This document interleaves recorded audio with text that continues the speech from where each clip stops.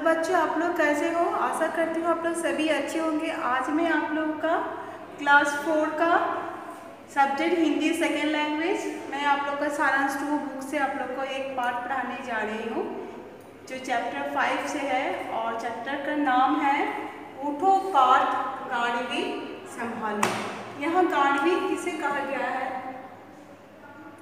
ये जो है, ये एक एकांकी है। एक आपको एक महाभारत के एक भाग से लिया गया है जिसमें अर्जुन जिसमें श्री कृष्ण अर्जुन को समझाते हैं कि, कुरुक्षेत्र में आप लोग धर्म के युद्ध करने धर्म के युद्ध में आप किस तरह से लड़ाई से वे पीछे नहीं हट सकते हैं चाहे सामने उनके अपने प्रियजन ही क्यों ना हो लेकिन वो पीछे नहीं हट सकते हैं। तो इसमें गाढ़वी कहा गया है धनुष को। जब कुरुक्षेत्र के मैदान में जब युद्ध प्रारंभ होने वाला होता है और अर्जुन अपने प्रियजनों को देखकर वो वो एक, वो युद्ध के लिए तैयार नहीं होता है, वो कहता है, मैं अपने ही गुरुजनों को, अपने ही स्वजनों को मैं कैसे मार सकता हूँ? मैं उनका कैसे रखपात कर सकता हूँ? तभी श्री कृष्ण उन्हें समझाते हैं कि धर्म के युद्ध में अगर आपके सामने आपके अपने जन भी हो और वो अधर्म का साथ देते हैं तो धर्म के रक्षा के लिए युद्ध करना ज़रूरी होता है। तो इस तरह से मैं इस महाभारत के इस एकांकी को मैं आप लोग के सामने बताने जा रही हूँ। तो आपके पास इसमें जो है, ये जो है पाठ है उद्धवपाद गामी संभालो, इसे लिखा गया है, जिनके रचयिता है अयोध्यानाथ शर्मा। तो आप लोग सभी के पास किताब है, आप लोग अपनी किताब से आप ये देख सकते हैं। मैं आपको लाइन टू लाइन आपको बता, पढ़ के बता रही हूँ और समझाती हूँ। आप लोग ध्यान से देखें। कुरुक्षेत्र के मैदान में कौरवों और पांडवों की सेनाएँ युद्ध के लिए आमने सामने खड़ी हैं। तो जैसे मैंने आपको कहा, कुरुक्षेत्र के युद्ध में जो कौरव और पांडवों की सेनाएँ जब मैदान में खड़े थे आमने सामने खड़ी थी। और पांडवों की सेना में अर्जुन, भीम दृष्टकेतु और अभिमन्यु जैसे अनेक महारथी थे। तो ये सभी जो थे, अर्जुन, भीम, दृष्टकेतु, अभिमन्यु, ये सभी पांडवों की सेना में थे और कौरवों की सेना में भीष्म, पितामह, द्रोणाचार्य, कर्ण, अश्वत्थामा और जयदत्त आदि अनेक वीर हैं। भीष्म, पितामह शंख ध्वनि करते हैं और उसी के साथ अनेक शंख ढोल तथा मृदंग बज उठते हैं। युधिष्ठिर ने अपना अनंत विजय नामक शंख बजाया। उधर अन्य महारथियों ने भी अलग अलग शंख बजाए। इनके घोष से आकाश गूंज उठता है। उसी समय श्वेत अश्वों से युक्त एक रथ में अर्जुन आते दिखाई देते हैं। रथ के सारथी श्री कृष्ण हैं। अर्थात इसमें जो कहा गया है, इसमें एक जो कुरुक्षेत्र के जो जो दृश्य है उसका वर्णन किया गया है, जिसमें कौरव और मांडव, पांडव कुरुक्षेत्र के मैदान में युद्ध के लिए तैयार थे और पांडवों को के सेना में अर्जुन, भीष्म धृष्टकेतु जैसे महारथी थे और उधर कौरवों की सेना में भीष्म, पितामह, द्रोणाचार्य, कर्ण, अश्वत्थामा और जयदत्त जैसे महान वीर थे। तो इस तरह से युद्ध का प्रारंभ करने के पहले भीष्म, पितामह शंख ध्वनि करते हैं, अर्थात स्वंग बजाते हैं और उधर युधिष्ठिर भी स्वंग बजा जाते हैं। इस तरह कि दोनों महारथियों ने भी अपना संग बजाया, अर्थात युद्ध का प्रारंभ कर दिया। इसी बीच में सफ़ेद घोड़ों में, घोड़े में अर्जुन आते हुए दिखाई देता है। और जिसके सारथी कौन है? श्री कृष्ण तो इसमें अर्जुन ने कहा है, बंधु, मेरे रथ को दोनों सेनाओं के बीच में ले चलिए, जिसमें देख लूँ कि मुझे किन किन से युद्ध करना है। जब युद्ध के लिए संग ध्वनि होती है तो उसके पश्चात अर्जुन ने अपने सारथी श्री कृष्ण से कहते हैं कि मेरे रथ को दोनों कुरुक्षेत्र के बीच में लेके जाएँ, अर्थात जहाँ पे दोनों सेना खड़े हैं, उसके बीच में लेके जाएँ। मैं देखना चाहती हूँ कि युद्ध में कौन कौन खड़े हैं। श्री कृष्ण ने कहा, जैसी तुम्हारी इच्छा, रथ को आगे बढ़कर हे पार्थ, इस स्थान से तुम अपने पक्ष और विपक्ष दोनों ही दलों के वीर को देख सकते हो। श्री कृष्ण रथ को आगे खींचते हुए कहते हैं, ठीक, पार्थ आप जैसा तुम्हारा इच्छा, मैं रथ को दोनों सेनाओं के बीच में लेके जा रहा हूँ। और जे, फिर उन्होंने रथ को आगे लेके गया और उस स्थान में ले गया, जहाँ पर पक्ष और विपक्ष दोनों ही दलों के वीर को अर्जुन सहज ही देख सकते थे। फिर अर्जुन ने कहा शत्रु पक्ष की ओर देखकर, अरे, यह मैं क्या देख रहा हूँ? यहाँ तो गुरुद्वारा पितामह भीष्म और मामा शैल्य, जिनकी गोद में मैं खेला हूँ, सभी विजय की इच्छा लेकर मरने मारने को खड़े हैं। क्या इस युद्ध में विजय के लिए मुझे अपने गुरुजनों और सम्मतियों को ही मानना होगा? अर्जुन का जो रथ जब कुरुक्षेत्र के बीचों बीच दोनों सेनाओं के बीच में आता है तो वो अपने सामने अपने गुरुजनों को देखकर वो स्थिर हो जाता है और वो वो कहता है कि क्या मुझे गुरुद्वारा पितामह भीष्म और मामा शैल्य जिनके गोदों में, गोद में खेला हूँ, मैं उनसे मैं युद्ध कैसे कर सकता हूँ? क्या मैं उन्हें अपने तीरों से क्या मैं उनको छल्ली कर सकता हूँ? क्या इस युद्ध विजय के लिए मुझे अपने गुरुजनों और संबंधियों को मारना होगा? श्री कृष्ण समझाते हुए अर्जुन को कहते हैं, प्रिय अर्जुन ये युद्ध तुम अपनी इच्छा से नहीं लड़ रहे हो। दुर्योधन, उसके साथियों ने युद्ध करने के लिए तुम्हें बाध्य किया है। इस प्रकार के धर्म युद्ध में किसी प्रकार का मोह करना अच्छा नहीं होता। अर्थात श्री कृष्ण उसे समझाते हैं अर्जुन को कि तुम अपनी इच्छा से युद्ध नहीं कर रहे हो। तुम्हें दुर्योधन और उसके साथियों ने युद्ध करने के लिए वाद्य किया है। और इस प्रकार के युद्ध में, धर्म युद्ध में मोह करना अच्छा नहीं है। अर्थात धर्म की रक्षा करने के लिए अगर कि तुम्हारे सामने अगर तुम्हारे स्वजन और प्रियजन भी खड़े हो तो तुम्हें इसके लिए डरना नहीं चाहिए और ना ही तुम्हें इसके लिए पीछे हटना चाहिए। धर्म के रक्षा के लिए तुम्हारे सामने चाहे कोई भी खड़े हो, तुम्हें युद्ध करना चाहिए। अर्जुन कहता है, धनुष बाण रखते हुए मैं युद्ध नहीं करूँगा। इस स्वजन समुदाय को देखकर मेरे अंग स्थिर हुए जा रहे हैं। मेरा मुख सुख रहा है। मैं गाड़ी उठाने में असमर्थ हूँ। अर्जुन पूरी तरह से टूटते हुए यादवेंद्र यानी श्री कृष्ण से कहते हैं कहता है मैं युद्ध नहीं कर सकता क्योंकि मेरे सामने मेरे समुदाय सभी स्वजन समुदाय हैं अर्थात उसके सभी आ, सभी संबंधी खड़े हैं और मेरा अंग शिथिल हुए जा रहा है। मैं करने में युद्ध करने में असमर्थ हूँ। मेरा मुख सूख रहा है। मैं गाड़ी उठाने में असमर्थ हूँ। मैं धनुष उठाने में असमर्थ हूँ। मैं अपने प्रियजनों से युद्ध नहीं कर सकता। हे कृष्ण मुझे विजय नहीं चाहिए, मुझे राज्य नहीं चाहिए।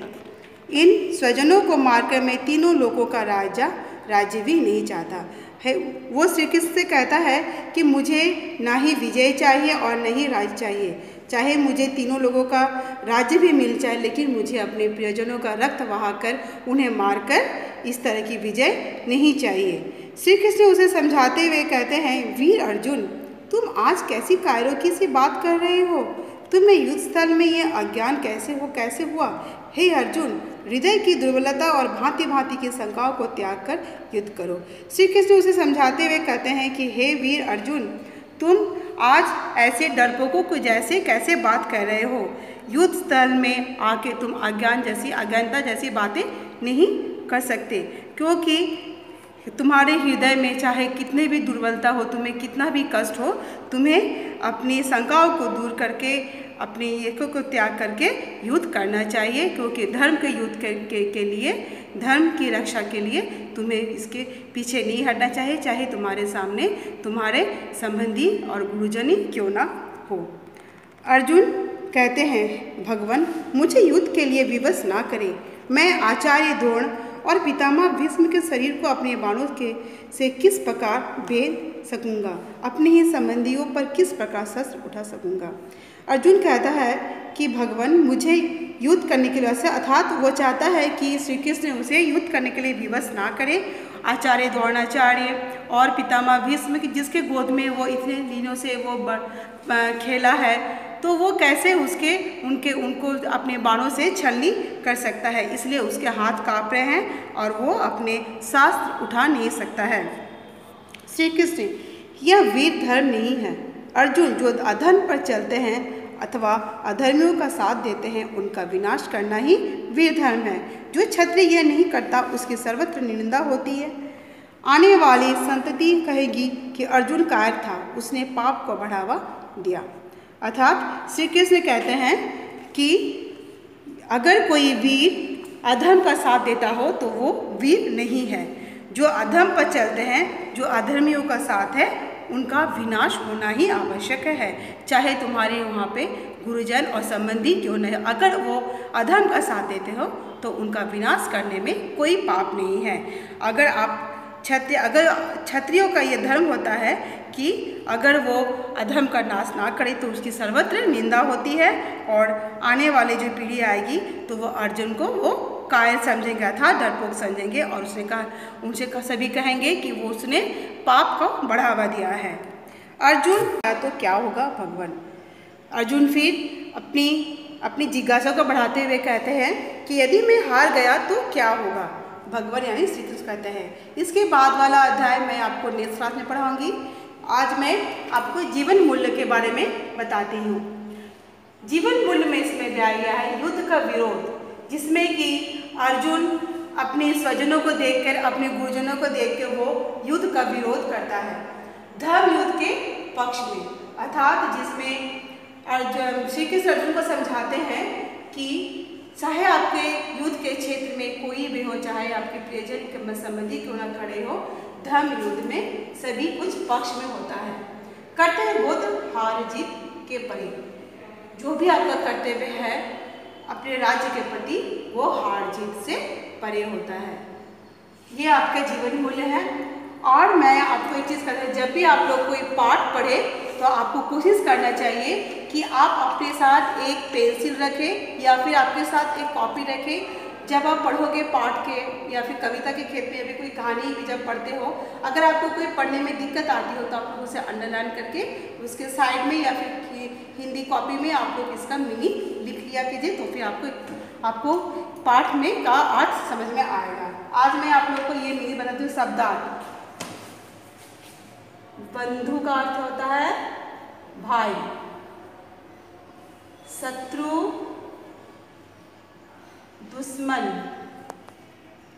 पितामा दादा। विजय, जीत। बाध्य मजबूर।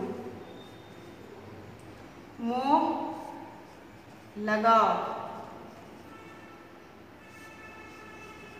श्री कृष्ण विनाश बर्बादी।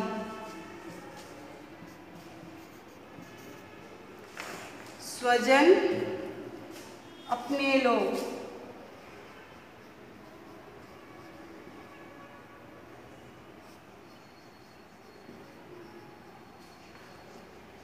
स्थिर ढीले असमर्थ काम ना कर पाना कायर डरपोक।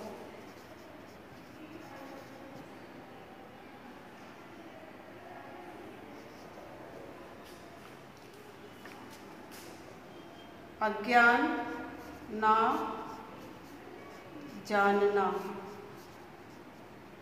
दुर्बलता, कमज़ोरी।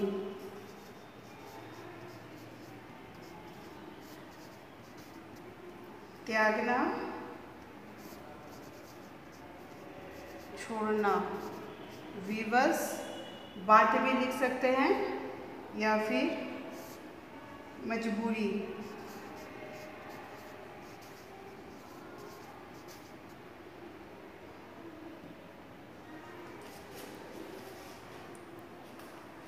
मजबूरी या फिर मजबूर? कुछ भी लिख सकते हैं। तो ये आपका मीनिंग है, इस तरह से आप लोग ये मीनिंग अपने कॉपी में या फिर बुक में भी लिख सकते हैं। पाठ में भी आपको कोई शब्द ऐसा लगे जो आपको लगेगा कि आपको नहीं आता है तो आप जैसे यहाँ पे दिया हुआ है आपका, त्यागना का छोड़ना और फिर त्याग का भी छोड़ना होता है। तो इस तरह से आप लोग शब्दों का मीनिंग लिख सकते हैं। तो आज के लिए मैं आपका यहीं पर समाप्ति हूँ, मैं आपका अपना क्लास इसके बाद वाला मैं जो बाकी का जो आपका पार्ट का बाकी है अंश, मैं आपको पढ़ाऊँगी। धन्यवाद।